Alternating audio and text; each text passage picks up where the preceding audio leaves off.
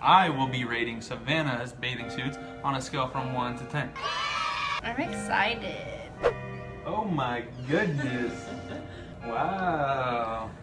okay, that's too hot. Come on. Oh my god. I like the diamonds on the zipper. Yeah, wanna let me them? show you guys. I didn't even really see it on their website, but Boom. Look how cute that is. I love it. When she said bathing suits, I, I was expecting it to be kind of like basic bikinis that you find at Walmart or like Yeah. with some floral design. But this Seeing all is this, like- like this is like legit. And usually I'm not a huge like bathing suit person. Like usually I'll just swim in like some shorts and like a top. But this just helps me get out of my comfort zone so much and I just feel so cute and like I just love my body in these. Shout out to Simply CC. Shout out to Simply CC. Thank you.